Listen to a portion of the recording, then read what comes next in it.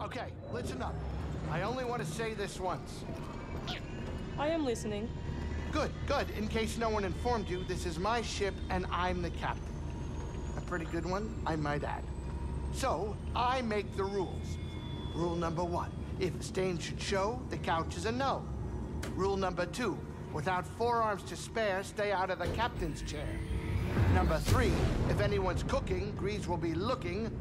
Number four, if it gets too loud, you'll be flying in the clouds. Greez, come on. What? I was gonna say they'd get a stern talking to. Sit down, kid. It's time to land.